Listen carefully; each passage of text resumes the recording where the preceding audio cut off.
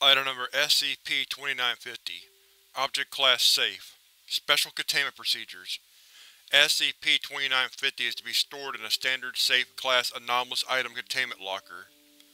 Testing on SCP-2950 is currently indefinitely suspended due to the extremely low priority.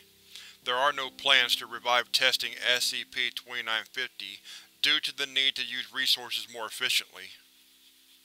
Description: SCP-2950 is a metal folding chair.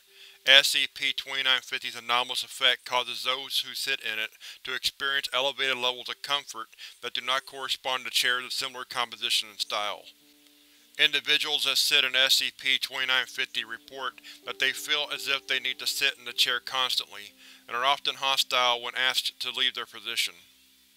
Testing has indicated that the longer an individual sits in SCP-2950, the more difficult it is to remove said individual. Subjects who sit in the chair for longer than 30 minutes cannot be removed from the chair without the use of force. Subjects who sit in the chair for longer than one hour cannot be coerced into leaving the chair.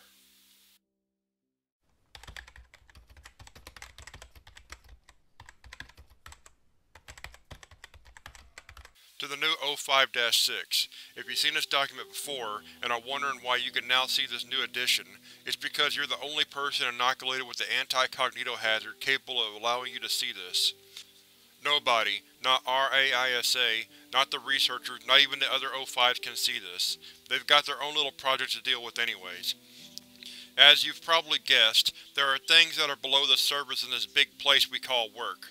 You've always wondered about the layers hidden behind the documents, and there's a reason why they exist. Certain info hazards are more dangerous than others. Some are so dangerous that only a few people can ever know about them, and sometimes that number is one. SCP-2950, as you probably guessed, is not simply a very comfortable chair. That's what we, and by we I mean you and I, want people to think. SCP-2950 is a Keter-class entity that cannot be defined.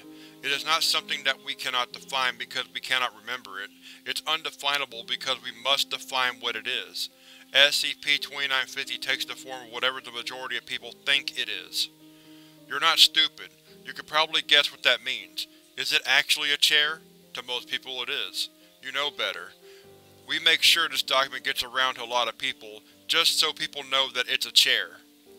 The chair is designed to be as mundane as an SCP could possibly be. No mind tricks, no insane hostility, no helpful properties. We want people to be as disinterested in this chair as possible. If you find out that someone is trying to run a test on this thing, don't let them. You might be thinking, why don't we simply forget about it? Why don't you and I just dupe ourselves into thinking it's a chair, so it actually is one? I wish it could be that easy. Unfortunately, someone out there knew what it is too, and that somebody wrote a damn book about it. It started when we found a book describing SCP-2950 as some kind of XK-class monster. We initiated containment protocols along those lines, believing that it was true, and so it was.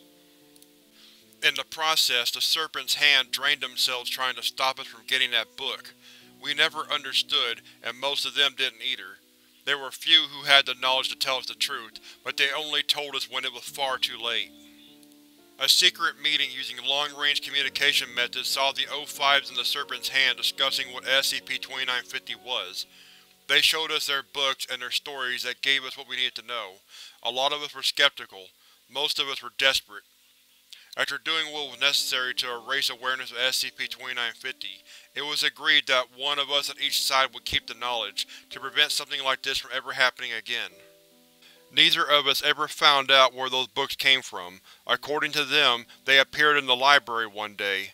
The source that we used to find ours disappeared, and nobody knows where it came from. That's why you're here.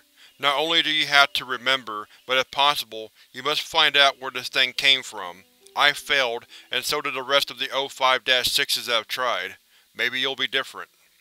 We've kept our end of the bargain, and hopefully so have they and now it's time to pass the torch on to someone else. I don't have to remind you that you're alone on this one. It's not exactly like you can call up the Serpent's Hand and ask for backup. Good luck, sir or madam. The world needs you on this one. And by the way, congratulations on the promotion, O5-6.